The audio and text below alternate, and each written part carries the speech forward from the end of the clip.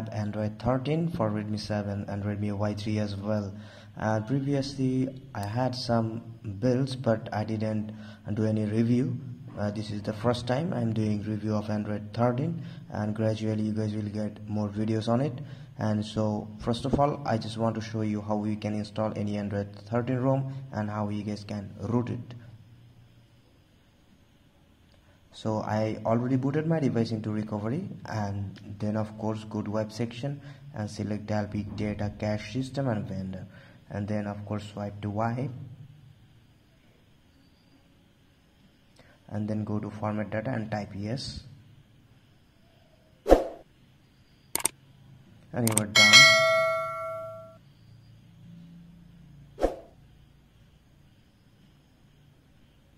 then navigate to the folder. So I have ArrowOS here which is vanilla built and you need to install GApps separately. So here is the GApps which is NikGapps core.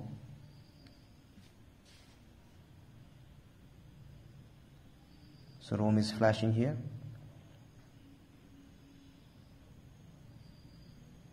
ROM has been flashed and now GApps flashing.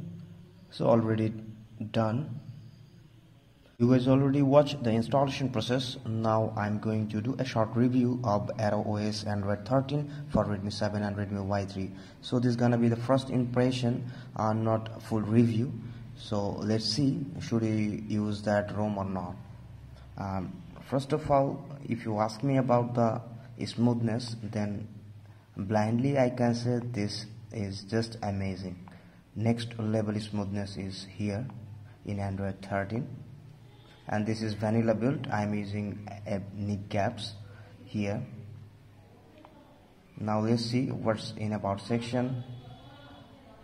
Here is the Android 13 and vanilla unofficial of course uh, ArrowOS and LineageOS kernel has been used here. And latest security update. And this is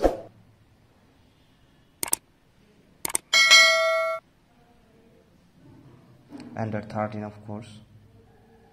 And you guys can change that colors. This is the easter egg of android 13 but everything is fine here but i didn't find the uh, fingerprint here.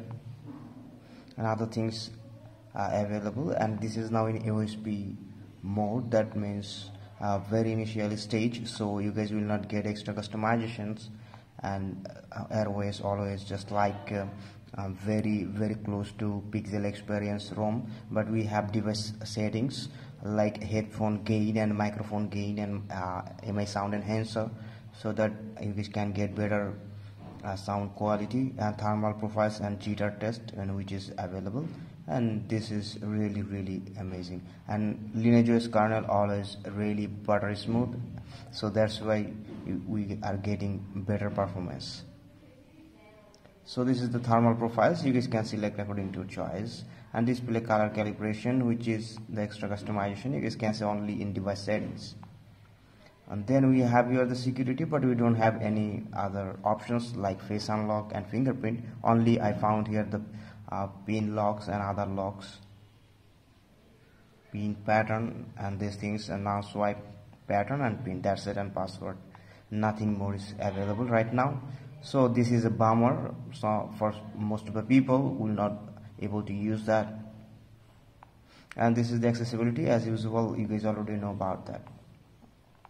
And wallpaper and styles dark theme and themed icons upgrade and other things are available. Only one main wallpaper is available in ArrowOS then we have the display settings as usual uh, what we have in previous builds like Android 12 so this is natural color boost and green strength blue strength red strength. Then we have display size and text night light and auto rotate screen ambient uh, display and other things. Everything is fine rather than the fingerprint if you uh, don't need any fingerprint option so you can easily use that ROM no problem with that. And other things and there is nothing to show actually nothing just a very simple op operating system pure android experience you guys will get pure just pure android experience and nothing more. And this is as usual of course the pixel launcher is here and all app themed icons. If you need that you guys can enable when you use the themed icons.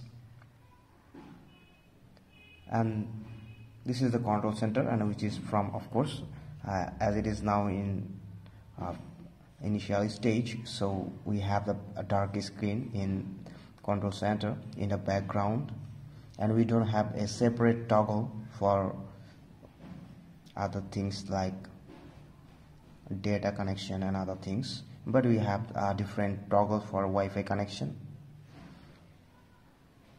Actually uh, the necessary customizations are available only a few not so much. And these applications are available. By default you will get google camera go and here is the calendar and here is the calculator of course. And these are the things we have in that ROM to show. So that's all. Hope you guys understand everything. And if you want something more then of course uh, if you have the fingerprint option in your device uh, if you tried this ROM then of course let me know in the comment section below. So thank you for watching